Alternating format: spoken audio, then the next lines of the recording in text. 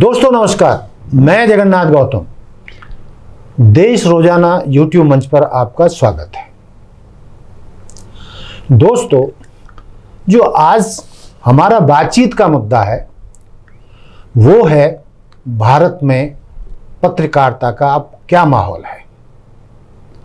दोस्तों, कई लोगों का मानना है, न केवल देश में, बल्कि विदेश में भी कि भारत का मुख्य धारा का मीडिया अपनी सही भूमिका नहीं निभा रहा है। ये आरोप कई लोग देश के अंदर और देश के बाहर लगाए जा रहे हैं। विदेशी मीडिया के भी कुछ ऐसे ही आरोप हैं। दोस्तों, जो आरोप लग रहे हैं, मुख्य आरोप यह है कि जो मीडिया लोकतंत्र का चौथा स्तंभ होता है, और वो मीडिया जो एक दशक पहले तक लगभग विपक्ष की भूमिका लोकतंत्र में उठाता रहा है, और वो वो खबरें दिखाता रहा है जो सरकार छिपाती थी या जिसको सरकार छिपाना चाहती थी। क्योंकि एक दशक पहले के मीडिया को देश की जनता की आवाज़ माना जाता था।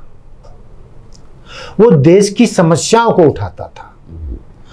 और जहाँ भी सत्ताधारी दल डगमगा डगमगाता था इधर उधर होता था और मीडिया की अपनी भूमिका से हटता था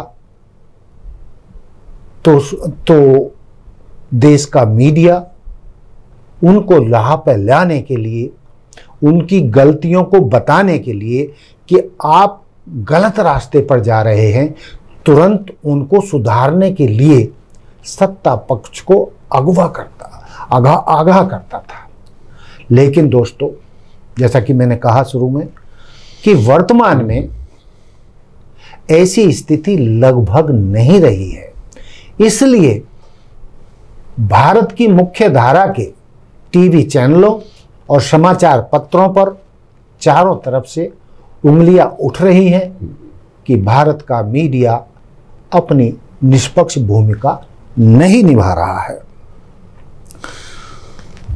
दोस्तों इसी मुद्दे पर बातचीत करने के लिए आज हमारे बीच में हैं हमारे मेहमान ज्योति संघ जी, जो साहित्यकार, पत्रकार, रंगकर्मी और जर्मन भाषा के विद्वान हैं और आज भी वो देश में अनेक विद्यार्थियों को, लोगों को जर्मन भाषा पढ़ाते हैं।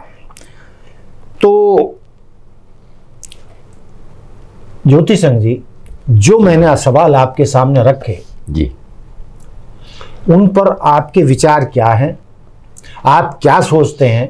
एक पत्रकार होने के नाते एक साहित्यकार होने के नाते भी क्योंकि साहित्य जो है समाज का दर्पण होता है।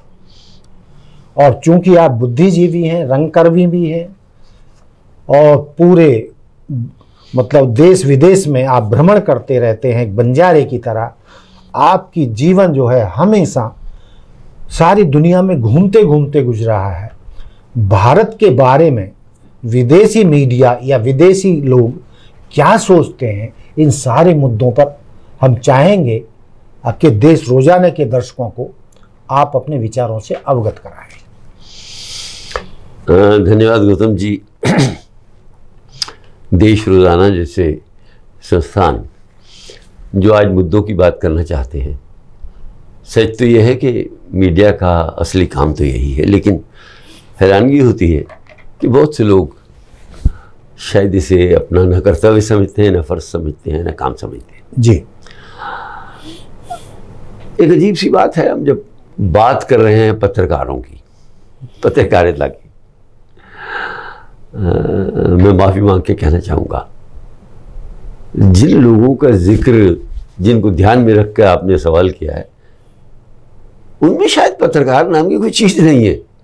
अच्छा। वो वो पत्रकारों की एक रिप्लेसमेंट है। अच्छा। पत्रकारों पे काम करने के लिए कुछ वाचाल लोगों को कुछ अच्छे एक्टरों को कुछ जो लोग जिनके पास शब्द भी हैं और शब्द कहने की कला भी है उन लोगों को लाया गया है एक विशेष पर्पस के साथ। खास मकसद के लिए। हाँ और पत्रकार तो वो होता है जिसके अपने व्यूज़ होते हैं। हम्म। पत्रकार तो वो होता है जो जाता है पढ़ता है देखता है अलग अलग दृष्टिकोणों से देखता है। आज का पत्रकार एक कमेंट्री पढ़ता है। उसको सुबह बताया जाता है भाई आज का विषय ये है। कौन बताता है? जिन लोगों को इस देश की सत्ता चाहिए जिन लोगों को इस देश का धन चाहिए जिन लोगों को इस देश को सिर्फ़ और सिर्फ़ अपने तरीके से चलाना है। वो लोग अलग अलग संस्थानों से हो सकते हैं, राजनीतिज्ञ हो सकते हैं बिजनेसमैन हो सकते हैं, या इन लोगों को सपोर्ट करने के लिए कुछ और लोग भी हो सकते हैं जिनको जिनकी ड्यूटी लगाई गई है। भाई आप ये कीजिए। मैं बिल्कुल साफ़ कहना चाहता हूँ। शायद कड़वी बात है, लेकिन मैं बहुत ज़िम्मेदारी के साथ कहना चाहता हूँ। कि आज जिन लोगों के नाम के आगे पत्रकार लगाया जाता है जो आज टीवी एंकर्स हैं रोज़ सुबह से लेकर रात तक जिनकी शक्ल या मोदी जी या वो दो ही शक्लें हैं जिनको हम दिन भर देखते हैं। इन लोगों को पत्रकार कहना तो पत्रकारिता की ज्यादती है बेजती है। ये अपमान है। ये ये कार्यकर्ता हैं।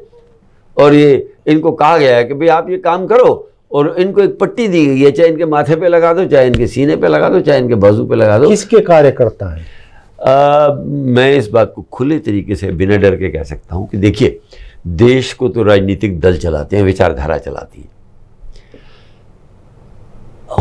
चाहिए तो ये कि देश की सत्ता पर बैठने वो लोग होने चाहिए जो देश की समस्याओं को जानते हो और देश की जनता को उससे उबारने के लिए काम करें। ये काम इतना आसान नहीं है सब आदमी नहीं कर सकते। मेरा ख्याल है मैं तो इसमें कोई बुरा नहीं लगता मुझे कि सत्तर सालों में जब से मुल्क आज़ाद हुआ है हमारी पहली सरकार दूसरी सरकार तीसरी सरकार चौथी सरकार शायद कोई भी इसे पूरी तरह से नहीं कर पाया। ये ठीक है कि जो शुरू की जवाहरलाल के वक्त की या उसके बाद की जो सरकारें कांग्रेस पार्टी ने किया उनकी नीयत में कम फ़र्क नज़र आता था। हम्म। कहीं ना कहीं ऐसा लगता था करना चाहते हैं। हम्म। और वो कर पाए नहीं कर पाए गलतियाँ भी की बहुत बहुत बड़ी बड़ी भूलें हुई देश को नुकसान हुआ। लेकिन, लेकिन आज जो हो रहा है वहाँ ये ढूंढना पड़ता है कि लाभ कहाँ हुआ है। लोगों का पक्ष कहाँ लिया जा रहा है। सोचिए ना कितनी अजीब बात है। मेरी भाषा नहीं है किसी आदमी से पूछिए। इस देश का मजदूर तंग है इस देश का किसान तंग है इस देश के विद्यार्थी तंग है इस देश की महिलाएँ तंग हैं इस देश का कारखानेदार मध्यम जो वर्गीय दुकानदार है बिजनेसमैन है वो तंग है। लघु उद्योगपति नहीं उद्योगपतियों में एक क्लास है जो थोड़ी सी इजी महसूस कर रही है वो भी जो upper class corporate corporate corporate बाकी मध्यम वर्गीय और लोग भी जो हैं बहुत तंग हैं। तो ये बताइए ना कि सवाल मेरा नहीं है मैं महसूस करता हूँ। मैं as a lower middle class मैं मिडिल क्लास के लोगों को भी जानता हूँ उच्च वर्गीय लोगों को भी जानता हूँ। एक भी तो नहीं है जो खड़ा होकर कह सके यार मैं मैं ठीक हूँ। उस हालत में ज़रूरी है। या बिल्कुल वाजह है कि जो सरकार है प्रजातंत्र है प्रशासन है उनकी दिशा और नीयत दोनों ही सवालिया निशान के पीछे है। इसलिए जो हम टीवी पे देखते हैं मतलब मैं तो दावे से कह रहा हूँ मैंने पिछले छः महीने से टीवी नहीं देखा। आपने टीवी क्यों नहीं देखा क्यों बंद कर दिया?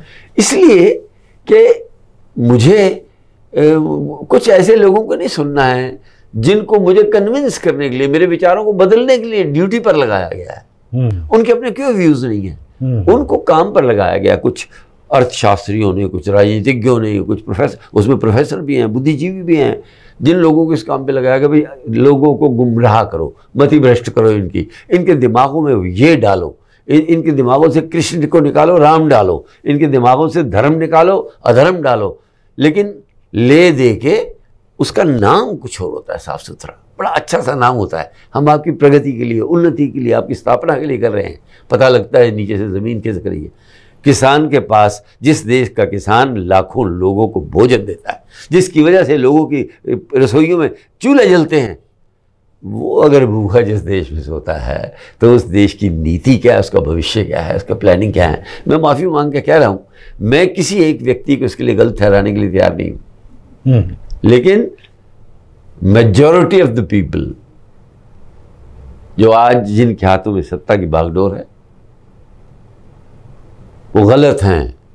बहुत ज़्यादा गलत हैं वरना देश की इतनी नाजुक और इतनी भयंकर परिस्थिति कभी भी ना होती। लेकिन जिन टीवी चैनलों या मुख्य धारा के मीडिया की बात हम कर रहे हैं हाँ। वो तो बड़े सब्जबाग दिखाता है कि राम राज्य आ गया है और सब कुछ बढ़िया ही बढ़िया है। देश प्रगति कर रहा है। देश की अर्थव्यवस्था मतलब इतने बुलंदियों पर जा रही है। हम पांचवी अर्थव्यवस्था है और तीसरी अर्थव्यवस्था की तरफ़ बढ़ रहे हैं। आप टीवी चैनलों को देखें तो ऐसा लगता है कि जैसे पिछले दशक में हमने लगभग सभी समस्याओं का समाधान कर दिया है और जो बची हैं हम तेज़ी से उन्हें मतलब करने जा रहे हैं। और आप इसके उलट बोल रहे हैं कि देश की हर वर्ग दुखी है। लेकिन देश का मुख्य धारा का मीडिया तो गौतम जी देखिए मेरे कहने से नहीं फ़र्क पड़ता कि मैंने दुखी कहा है। आज एक देश की गृहिणी थैला लेके बाज़ार में पैसे लेके सब्ज़ी लेने जाती है। पाँच आइटम घर से सोच के आती है लाऊँगी। या तो आधे आधे खरीद के लाती है जिसको किलो चाहिए वो आधा किलो के दी या तीन आइटम खरीदने के बाद सोचती है चलो इसके बिना गुजारा हो जाएगा इसको छोड़ दिया जा सकता है। हम्म, अगर ये सच नहीं है मैं कहता हूँ, आप सौ आदमियों में चले जाइए, एक सब्ज़ी मंडी में चले जाइए, बाज़ार में चले जाइए, कहीं चले जाइए। लोगों के बजट खराब हो गए। लोगों ने चीज़ें खानी ही बंद कर दी हैं। कुछ लोग मुझे कन्विंस करते ऐसा हो जाए, हमारे साइंसदानों ने, हमारे हमारे टीवी चैनलों ने बताना शुरू कर दिया, टमाटर जितने कम खाएँगे आपकी सेहत ठीक रहेगी। क्योंकि टमाटर खाने के लिए पैसे नहीं है वो खरीदने जाएगा तो रोएगा। इसलिए उसको समझाया जाए टमाटर मत खाइए। दालों के रेट दुगने हो गए हैं। दालों के हर खाने पीने हाँ, की चीज़ के दाम तो दुगने इन दामों ने लोगों की महँगाई बढ़ी है बैलेंस बिगाड़ लेकिन इनकम नहीं बढ़ी है लोगों की। नहीं इनकम भी बढ़ी है लेकिन इनकम बढ़ती है पाँच परसेंट लोगों की महँगाई बढ़ती है पचानवे परसेंट लोगों के लिए। हम्म, टीवी चैनलों में उन पाँच परसेंट को दिखाया जाता है जिनकी इनकम बढ़ी है। देखिए आमदन में भी तरक्की हो रही है। और उन पचानवे परसेंट को नहीं दिखाया जाता जिनके घर का बजट तो टोटली लड़खड़ा गया है। लेकिन आप मतलब आप ये मानते हैं कि जिस मीडिया को देश की जनता के प्रति वफादार होना चाहिए उसकी आवाज़ बनना चाहिए वो मीडिया सरकार का माउथ पीस बनकर रह गया। क्या आप ऐसा मानते हैं? नहीं आप भूल गए मैंने अपने वक्तव्य की शुरुआत में कहा है। ये मीडिया विहीन राष्ट्र है। मीडिया विहीन राष्ट्र हो गया है। और ये जो लोग मीडिया के नाम पे जिनको बिठाया गया है ये मीडिया के लोग नहीं हैं। अच्छा। ये केवल रोबोट हैं जिनमें चाबी भर दी जाती है और चाबी भरने के बाद वो ऐसे ऐसे हाथ करते हैं टिक टिक करते हैं। बच्चा हंसता है सामने देखिए मेरे सामने आदमी नाच रहा है। लेकिन वो चाबी खत्म हो जाएगी फिर भर दी जाएगी। लेकिन ये मीडिया सिर्फ़ इसलिए हो सकता है। देखिए आपके पास ज़ुबान है। ये तो लगता है जब आप बोलते हैं। लेकिन आपका दिमाग है और आँखें ये लगता है कि जब आप कहते हैं गंगा के किनारे लाशों का ज़िक्र होता है जब कोरोना के दौरान बही। ये कोई बड़ी बात नहीं हो सकता है लाशें हैं तो लाशें कहीं ना कहीं बहा जाए। लेकिन देश का मीडिया उसको दिखाने से इनकार कर दे उसे मानने से इनकार कर दे ये कौन सा मीडिया है? उस मीडिया को बोलना तो आता है लेकिन दिखता नहीं उसको। हमारे देश में हज़ारों लोग भूखे मर गए बिना इलाज के मर गए ऑक्सीजन के बिना मर गए महामारी के दौरान। में इसका ये मतलब नहीं है कि मैं सरकार को क्रिटिसाइज कर रहा हूँ। हो सकता है और सरकार होती, उसको भी यही होता। लेकिन क्या इच्छा शक्ति थी? अगर ऑक्सीजन नहीं मिली तो मानना चाहिए ना ऑक्सीजन नहीं थी। वो ऑक्सीजन की कोई कमी नहीं है। लोग मर गए, लाइनों में खड़े रहे, लोगों को कुछ मिला नहीं, अस्पतालों में बेड नहीं मिले। आज तक ये नहीं पता लग सका कि कितने लोग मरे उस दौरान में। तो ये मीडिया ही है, जिसने एक हज़ार मौतों को आठ बता दिया, और जहाँ आठ पेड़ लगे, उनको आठ हज़ार पेड़ बता दिया कि देश हरा हो गया। जहाँ कुछ विदेशी मीडिया कोरोना से 50 लाख लोगों के भारत में मरने का दावा कर रहा था। वहीं भारत में ये संख्या कुछ हज़ारों में बताई जा रही थी। आप इस बात से सहमत हैं? मैं सोचता हूँ जो विदेश ने बताया जो नंबर बताया ये भी शायद कुछ कम था। क्योंकि हमने अपनी आँखों से शमशान भूमियों में बारी आते नहीं देखी लोगों को। लोगों को लकड़ियाँ नहीं मिलती थी शमशान भूमि में। ऐसा कौन सा जुल्म हो गया था? बरसों से लोग मरते चले आ रहे हैं। ऐसा कभी हुआ है कि आप शमशान भूमि में जाएँ? आपके पास साधन नहीं है, वहाँ कोई आदमी नहीं है। सो बातें नहीं, अब ये बताइए कि जो पिछले दशक में मीडिया की भूमिका रही है तो असली मीडिया कहाँ से लाएँ?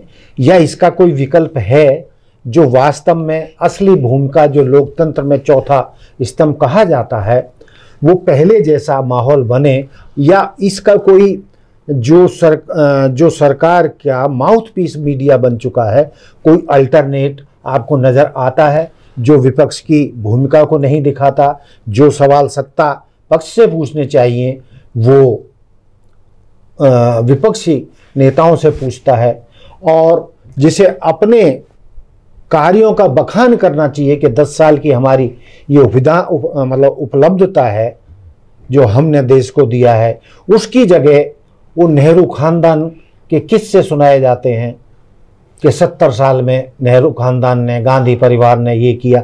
अरे भाई ज़रूरत तो इस बात की है कि मीडिया ये दिखाए कि वर्तमान में दस सालों में देश की जनता की जो समस्याएँ थी क्या उनका हल हुआ या नहीं हुआ वो महँगाई का समाधान निकला या नहीं निकला, विद्यार्थियों के रोज़गार का या छात्रों के रोज़गार की जो समस्या है, वो 45 परसेंट या जितनी भी है पिछले पिछहत्तर सालों में सबसे ज़्यादा है, उसका समाधान नहीं हुआ तो क्यों नहीं हुआ और उसके लिए कौन जिम्मेदार है? और ये, इसके लिए कौन जिम्मेदार है? और ये चीज़ मीडिया क्यों नहीं दिखा रहा? गौतम जी आपके सवाल में ना थोड़े से दो पक्ष टकरा रहे हैं। आपने कहा कि जो हमारा मीडिया है वो जनता की समस्याएँ क्यों नहीं बताता? और क्या करें कि वो बताना शुरू कर दें सवाल करें? देखिए ये सब चीज़ें प्रजातंत्र में संभव होती हैं जहाँ लोगों के पास अधिकारियों के पास। रुको रुको रुको। और जन हम प्रतिनिधियों के पास। क्या देश में प्रजातंत्र नहीं है? हम नहीं मेरी बात पूरी प्रजातंत्र में नहीं पूरी पूरी बात समझ लीजिए आप। हम्म। जहाँ जनता को अधिकारियों को जन सेवकों को और जनप्रतिनिधियों को यदि कहने की करने की स्वतंत्रता है और उनको जो अधिकार हमारे विधान ने दिए हैं अगर वो उनका इस्तेमाल कर सकते हैं तो तो है प्रजातंत्र। यदि मंत्री भी और अधिकारी भी माउथ पीस हैं उनको वही करना है जिनको कहा जाए। आदेश के बाहर जाने की एक एक इंच इजाज़त नहीं है। लिखा लिखाया एक मजमून है जिसके लिए वे सबने चलना है। तो प्रजातंत्र का मतलब थोड़ा है कि प्रजातंत्र को पेड़ है जिसको काट दिया जाता है। हम्म, हम्म। जब देश की जनता गरीब आदमी सड़क पे, पटरी पे बैठने वाला, यदि वो पटरी पे बैठ के, जिसे कानून अगर अलाउ करता है किसी ऐसी जगह पे यहाँ बैठ सकता है और वहाँ भी ना बैठने दिया जाए, जहाँ मजदूर को आठ घंटे का काम ना मिले, जिनको काम मिले उनको पूरी पैसे ना मिले और जितने पैसे मिले उससे एक वक्त का खाना ना मिले। तो इसका मतलब है प्रजातंत्र नहीं है, इसका मतलब ही नहीं। हो फिर तकलीफ़ ये है कि उस देश में जहाँ 80 करोड़ लोगों को मुफ़्त खाने पर जीना पड़ता है, उस देश में ही दुनिया के सबसे अमीर आदमी पैदा हो रहे हैं। उसी काल में सबसे ज़्यादा अरबपति भी उसी देश में पैदा हुए हैं। उसी देश में करोड़पतियों करोड़पतियों की संख्या बढ़ती जा रही है। कितनी अजीब सवाल है, कौन सा कर्म विधान है? जो एक आदमी को दस से ज़ीरो पे ले आया और दूसरे को दस से दस हज़ार पे ले गया। तो कहीं कसर है, मीडिया ना कहे। नेता लोग ना कहें हमारे देश का प्रशासन ना कहे ये अलग बात है। लेकिन इसको छुपा कैसे सकते हैं आप? आप एक तरफ़ से खुद कहते हैं हम अस्सी करोड़ आदमियों को भोजन दे रहे हैं। तो अगर आप अस्सी करोड़ आदमियों को भोजन दे खाना कहाँ है? वो वो क्यों नहीं कमा सकते? उनके पास काम कहाँ है? काम करते हो तो पैसे हो क्यों आपका राशन क्यों नहीं देते? काम इसलिए नहीं देते कि काम करना आदमी को सशक्त बनाता है। जो आदमी सौ रुपये कमा के अस्सी रुपये खर्च करता है, वो किसी की बात नहीं सुनता। लेकिन जिसको घर में बैठे पतीला लेके दरवाजे को टोहना पड़ता है कि कब कोई आए, मुझे भोजन दे जाए, वो बोल नहीं सकता प्रभु। वो तो जब रात को रोटी पकाता है तो वो अपने नेता का नाम लेता है जय राम जय राम जय राम जय राम जय राम उसको वो जो वहाँ दे गया धंधा, थैले पे भी फ़ोटो देखता है उसकी। देने वाला भी बता जाता है किसने भेजा है। उसको ये भी कहता है, किसका नाम लेके जायजा करते हो? वो खाना सोचता है, उसी घर से आ रहा है तो मेरा तो वही नेता है। चलिए, हम इस बातचीत में अब अंतिम दौर की तरफ़ बढ़ते हैं और मैं ये कहना चाहूँगा कि एक स्वतंत्र मीडिया के बिना किसी लोकतंत्र की कल्पना नहीं की जा सकती। तो आपकी नज़रों में जो देश में जो मीडिया वाला ये संकट दिख रहा है और दिख नहीं रहा, एक सच्चाई है तो इसका आपकी नज़रों में क्या समाधान है क्या होना चाहिए? देखिए समाधान तो हो गया है। हम्म, एक हिस्से से समाधान हो गया है। वो कैसे? पिछले चुनाव में हम्म, जनता ने अपनी वोट के अधिकार का इस्तेमाल करके हम्म, वो बदलाव ला दिया है जो जनता ने लोगों ने दुनिया के किसी आदमी नहीं सोचा था। हम्म, कल तक जो सरकार दहाड़ के एक अकेला की बात करती थी आज उन्हें भाईचारा मित्रचारा मिलकर चलने की बात जब तक ज़िंदा हैं मिलके चलेंगे और हम सबकी मर्ज़ी के बिना नहीं चल सकते। ये बातें अब सुनने को मिल रही हैं। नंबर एक। हम्म, नंबर दो। हम्म, विपक्ष। हम्म, जो कल तक अर्थहीन था मृत प्राय था आज उसके पास भी एक आवाज़ है ताकत है। ये जनता ने की है। राहुल गांधी नहीं कर पाए। किसी विपक्ष के नेता में दम नहीं था बलता। लोग जागे और लोगों ने करके दिखाया। नंबर एक। नंबर दो अब आने वाले समय में ये तो एक एक, एक, एक ट्रेलर है। कुछ लोग ही जागृत हुए थे लेकिन इसका असर अब आने वाले वक्त में अब विधानसभा के इलेक्शन आ रहे हैं। आप देखेंगे हम्म, बहुत खूबसूरत बड़े दमदार बदलाव होंगे। बेईमानी झूठ मैनिपुलेशन ये हर युग में होती रही है। सत्तर साल से हो रही है भाईजान। लेकिन ये सत्तर साल हर बार चलती रही ऐसा नहीं। इंदिरा गांधी के वक्त में हुई तो इंदिरा गांधी को उखाड़ के फेंक दिया गया। वो इंदिरा गांधी जिसकी जिसकी लफ्स जिसकी आवाज़ देश की आखिरी आवाज़ थी वो अपना इलेक्शन भी हार गई। और अच्छा लगेगा ये बात इस बार हो जाती प्रधानमंत्री भी हार जाते मैं बता रहा हूँ। अच्छा। लेकिन चलिए परमात्मा ने जिसके लिए नज़र सीधी रखी है तो कुछ सोच के रखी होगी। नहीं हम जो समापन पे के पे की जो बात कर रहे थे मीडिया पे सब हाँ मतलब तो मैं ये कहना चाहता हूँ कि मीडिया में भी मीडिया मरा नहीं है। हम्म, असली मीडिया ज़िंदा है सिर्फ़ ये है कि उन पर क्योंकि मीडिया हाउसेस जो हैं जिनके थ्रू पत्रकार काम करते हैं वो सारे के सारे खरीद लिए गए। हिंदुस्तान में इसमें छुपा कोई नहीं कि जितने भी मीडिया हाउसेस हैं वो सत्ता और सत्ता के लोगों ने खरीद लिए ये हर बच्चा जानता है इसमें कोई छुपने वाली बात नहीं है सोचने वाली बात नहीं। तो वो आदमी जो सत्ता के लिए काम करता है उसके डेस्क पे बैठ के कोई आदमी जनता की बात नहीं कर सकता। लेकिन अब क्या है? चाहे 500 वो मीडिया रोबोट हों जिनको हम रोज़ देखते हैं उनके मुकाबले में जो 50 सचमुच मीडिया वाले लोग थे हम्म, चाहे वो यूट्यूब से आए चाहे वो किसी भी रास्ते से आए लेकिन उन्होंने इस एक टन के मीडिया तंत्र को 100 ग्राम मीडिया ने यूट्यूब ने जो जवाब दिया उसका असर बराबर हुआ। और कुछ हिस्सों में वो 100 ग्राम वाले इस एक टन वाले मीडिया से ज़्यादा हैवी हुए नहीं नहीं भारी आपका, हुए। आपका मतलब सोशल मीडिया से यूट्यूब चैनलों से। यस मेरा मतलब रवीश कुमार से भी है मेरा मतलब ऐसे सैकड़ों लोगों से है जिस जिसने इस वक्त से। पत्रकारों से जिन्होंने इस जमाने में अपने जान की उनके ऊपर खतरा उठा के अपनी आवाज़ निभाया। दबाया और ये लोग चाहे कल तक ज़िंदा न रहें मार दिए जाएँ या क्या हो जाएगा इनके इनके सारा का सारा भविष्य काला कर दिया जाए। लेकिन ये ख़त्म नहीं हो सकते। एक मरेंगे छब्बीस और पैदा होंगे मैं आपको बता रहा हूँ। जो आपने रवीश कुमार का नाम लिया इस लाइन में तो दर्जनों सैकड़ों बिल्कुल। पत्रकार हैं हैं। जो अपनी जान जोखिम में डालकर अपने परिवार की जान जोखिम में डालकर और पत्रकारिता धर्म निभाने का और देश की देश और देश की जनता के प्रति और लोकतंत्र के प्रति अपना धर्म निभाने के लिए वो बहुत सारे परेशानियाँ झेलकर अपना पत्रकारिता का धर्म निभा रहे हैं। काश के मुख्य धारा का मीडिया भी अपना पत्रकारिता का धर्म निभा पाता तो जो चौतरफा पिछले दशक में जो मीडिया की बदनामी हुई है और उस पर कई तरीके के आरोप लगे हैं, उसकी निष्पक्षता पर उंगलियाँ उठी हैं, और जो सब जानते हैं कि भाई जो जो भी आरोप लगे हैं तो शायद ये हालात ना होते। मैं ये एक बात बीच में कहना चाहूँगा कि हम मीडिया के उस हिस्से को जिनके नाम सब जानते हैं। हम्म। खाली रवीश कुमार कुमार तो एक नाम है हमने एक मॉडल की तरह ले लिया. उसमें ऐसे सैकड़ों नाम हैं जिन लोगों ने ये काम किया और कामयाबी से किया और सत्ता को हिला के दिखा दिया। मैं इतना कहना चाहता हूँ ये वो ताकत है ये जब भी उठेगी ये इनकलाब लाएगी। ओ दूसरी बात जो मैं इनकलाब जिंदाबाद। हाँ और दूसरी बात मैं आपको कहना चाहता हूँ फरीदाबाद में हमारे एक पत्रकार हैं सतीश कुमार जी मजदूर मोर्चा निकालते हैं।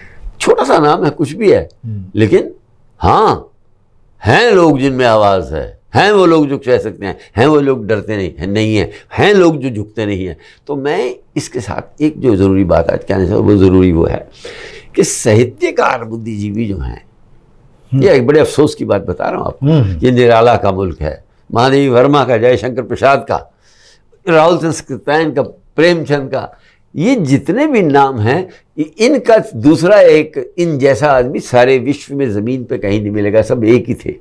नहीं तो साहित्य तो समाज का दर्पण है। लेकिन साहित्य ने के ने जो अपना फ़र्ज़ अदा करना चाहिए जब देश का पत्रकारिता का माहौल दबा दिया जाए त्रस्त कर दिया जाए उसको एक ऐसे गड्ढे में डाल दिया जाए, जहाँ से उनकी आवाज़ लोगों चीख तो रहे हैं, लोगों तक ना पहुँच सके।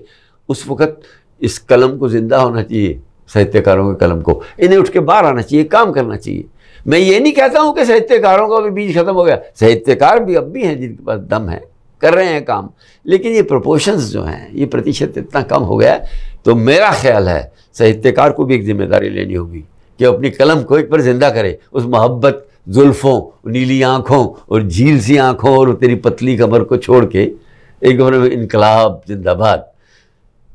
सर झुका सर कटा सकते हैं, लेकिन सर झुका नहीं सकते। उसका दौर है। वो गीत आने चाहिए।